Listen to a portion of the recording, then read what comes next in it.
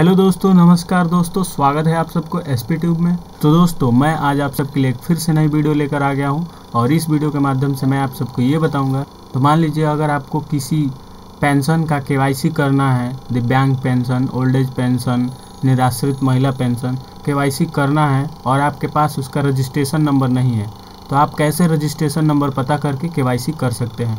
तो दोस्तों, आइए इस वीडियो के माध्यम से जानते हैं।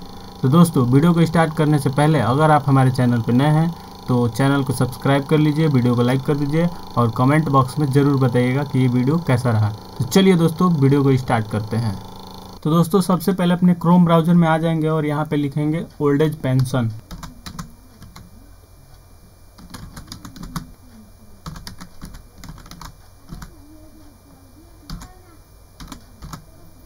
old age pension dot U P और इंटर पे क्लिक कर देंगे। यहाँ पे आने के बाद वृद्ध अवस्था पेंशन पे क्लिक करेंगे। और यहाँ पे क्लिक करने के बाद मान लीजिए आपका जो भी पेंशन भरना है, वृद्धावस्था पेंशन, निराश्रित महिला पेंशन, दिव्यांग एवं कुष्ठावस्था पेंशन, उस पर आप क्लिक कर लीजिएगा। मान लीजिए हमको वृद्ध अवस्था पेंशन का के करना है, ठीक है? तो इस पर क्लिक कर लीजिए। और यहाँ पे आ जाइए पेंशन सूची, ठीक है? यहाँ पे आने के बाद पेंशन सूची पे क्लिक करेंगे, न्यू सत्र पे। तो ये देखिए, आपका यहाँ खुल गया जनपद मतलब आपका कौन सा ज़िला है, आप किस ज़िले से हैं तो उस ज़िला को सिलेक्ट कर लीजिएगा, ठीक है? और ज़िला सेलेक्ट करने के बाद विकास खंड आएगा मतलब आपका कौन विकास खंड पड़ता है, ठीक है? आप यहाँ से ब्लॉक चुन सकते हैं विकास खंड अपना तो यहाँ से चुन लीजिएगा आप लोग अपना विकास खंड जो भी हो, और उसके बाद ग्राम पंचायत का नाम चुन लीजिएगा, ठीक है? मतलब आपका ग्राम सभा कौन पड़ता है, किस गाँव में आप रहते हैं, ठीक है? और आपका ग्राम पंचायत का क्या नाम है? तो यहाँ से आप लोग अपना ग्राम पंचायत सेलेक्ट कर लीजिएगा, ठीक है? और उस पर क्लिक कर दीजिएगा। उस पर क्लिक करने के बाद दोस्तों, ये देखिए यह हमारा आ गया यहाँ पे।